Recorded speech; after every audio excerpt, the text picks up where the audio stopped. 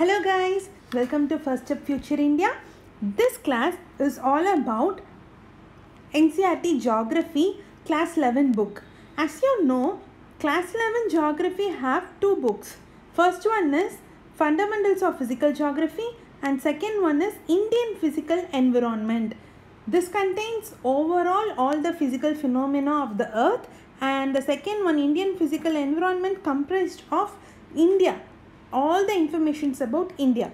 So in this book, the first chapter is India location. So let us see uh, what we're going to study in this chapter. First one, what is location? To locate any region or any country or any particular uh, state, we use this location, right? So this is based on two things. First one is latitude and the second one is longitude. So what is latitude? Latitude is a horizontal line whereas what is longitude? It is a vertical line. This intersecting point is called coordinates. Using this only we locate uh, regions what we want. For example, what is the coordinate for India? In globe, the globe is divided into certain parts using this latitude and longitude. These are imaginary lines. Using this, we locate certain region. Our India's co coordinates, our India's location is 20.5937 degree north and 78.9629 degree east. So, this is what the location is all about, okay? But in India, there are totally 27 latitudes that present in our country. Okay. Among that, 25 are in mainland, which means this contains no water body, whereas the entire country means it, it includes water body also. And longitudes, the longitudes, total longitudes in India is 30. Okay. So the number is from 67, 68 to 97 so the total, the difference is 30 longitude. So we get 30 longitudes in our India. So first one, let us see certain facts.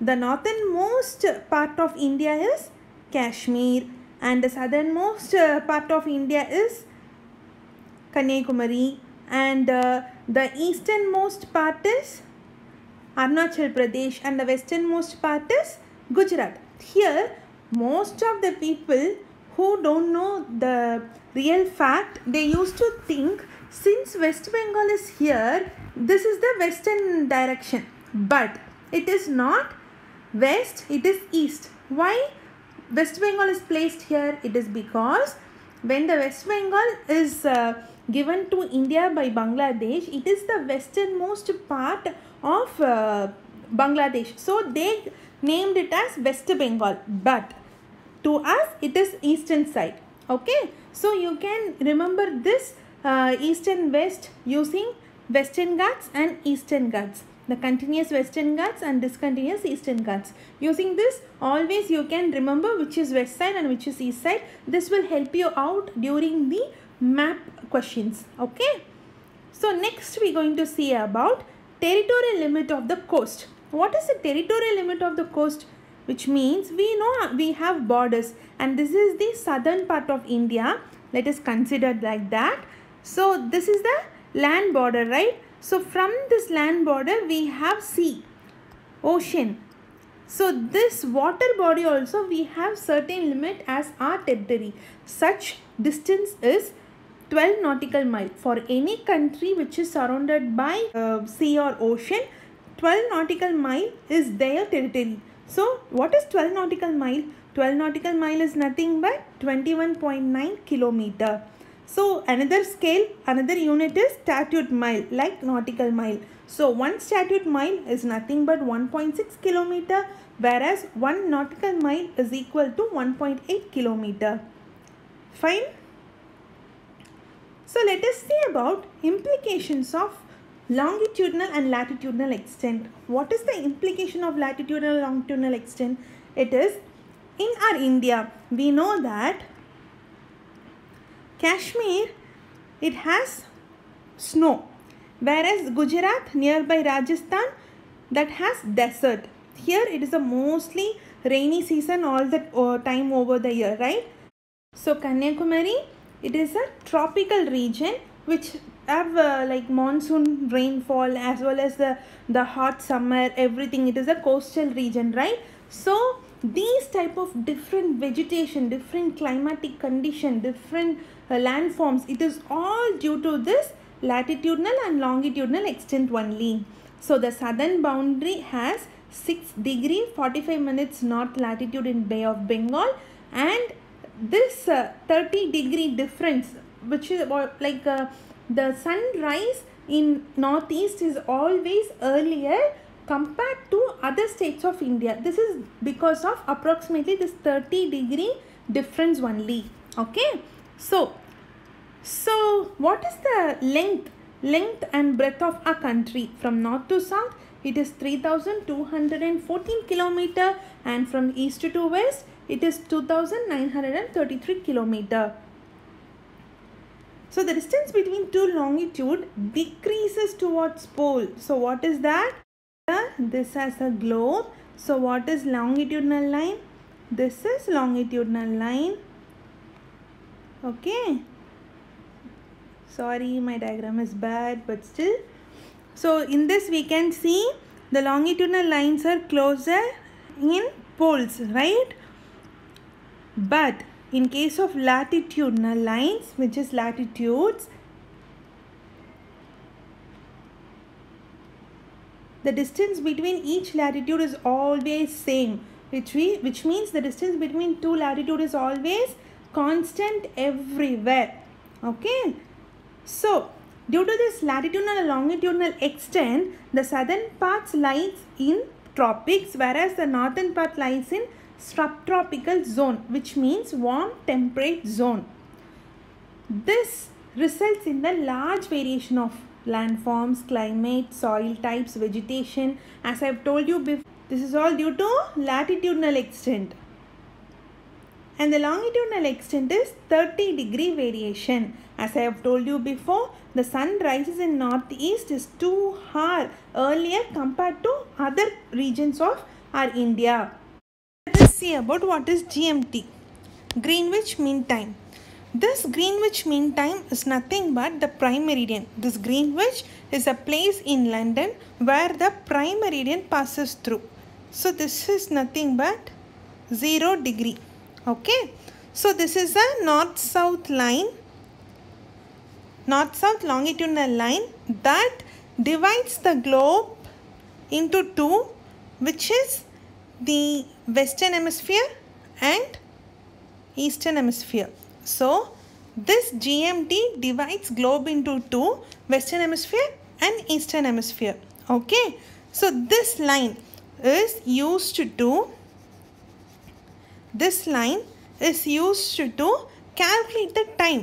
So globally we need some standard to maintain our time uh, calendar days everything right so for that we invented this. So what is Greenwich Mean Time in India which means India India have a, a head of 5 hours and 30 minutes from Greenwich Mean Time which means if this is the prime meridian it is 5 hours I mean 5 and a half hour is uh, ahead of GMT In some cases, countries are behind GMT also. The standard meridian is nothing but a longitudinal meridian as I have told you. It is generally multiple of 7.5 longitude. So it is a multiples okay which is a 7.5 and India chosen 82 and half degree east as their standard time IST okay Indian standard time and the meridian passes through Allahabad okay? And the standard meridian passes through five states. The exact coordinate is Allahabad and it passes through five states. What are the states? Uttar Pradesh Madhya Pradesh Ch Chhattisgarh Odisha and Andhra Pradesh okay? So the total area of India is 3.28 million square kilometer which composed of 2.4 percentage of world's land area to the total land mass total land area of world we composed of 2.4 percentage. And it is the seventh largest country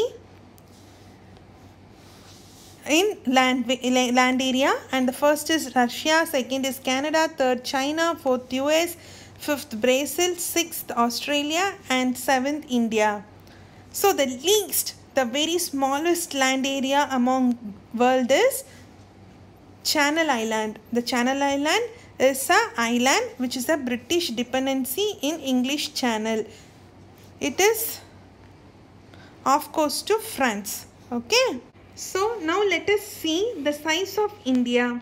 It forms great geographical entity known as Indian subcontinent. So what is Indian subcontinent? It is composed of Pakistan, Nepal, India, Bhutan and uh, Bangladesh. So all together we call it as Indian subcontinent. Okay.